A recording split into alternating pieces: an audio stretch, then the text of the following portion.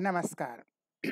आम आदमी पार्टी ने ऐसा काम किया, जो शायद दुनिया में किसी ने नहीं किया होगा। भाई, अपराधी क्या करते हैं? दूसरे की ज़मीन पर अवैध कब्जा कर लेते हैं। यह पात्रा चाल घोटाला में हुआ या इसके बाद जो उखाड़ दिया एडिटर जेल गए थे, उसके बाद अभी संदेश खाली में हुआ शाहजहां वही कर रहा था। दूसरों के ज़मीन पर अवैध कब्जा कर रहा था। ये तो पूरी दुनिया में होता है, दूसरे की ज़मीन पर अवैध कब्जा यह पूरी दुनिया में एक कॉमन अपराध है। लेकिन केजरीवाल ने कोर्ट का ज़मीन ही हड़प लिया। जो ज़मीन कोर्ट का है, उसी पर कब्जा कर लिया। वहीं पर उन्होंने अपना आम आदमी पार्टी का शीश महल बना दिया।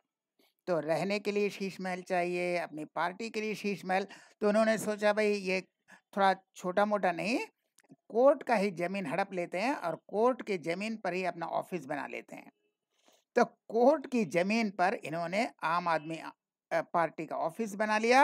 अब कोर्ट ने कहा, यह ज़मीन खाली करो।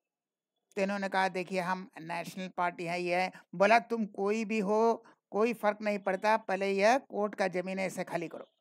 इसे पहले खाली करो। और डेट दिया है पंद्रह जून, यानी डेढ़ महीने के अंदर केजरीवाल को इस ऑफ़िस को हटाना पड़ेगा। अब कहाँ जाएँगे या आपकी अपना प्रॉब्लम है?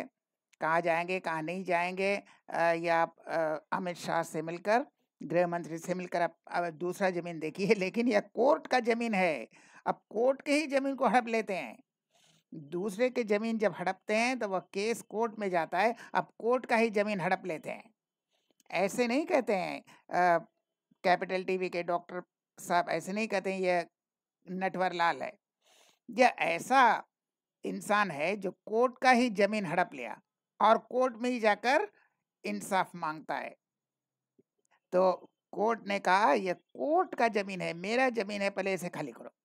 और पंद्रह जून तक का समय दिया, डेढ़ महीना में खाली करो और ये बकवास बंद करो, कोई हम नेशनल पार्टी है, तुम नेशनल पार्टी है, कि लोकल पार्टी है, कि टी पार्टी है कि चाय समोसा पार्टी है, इससे कोई फ़र्क नहीं पड़ता।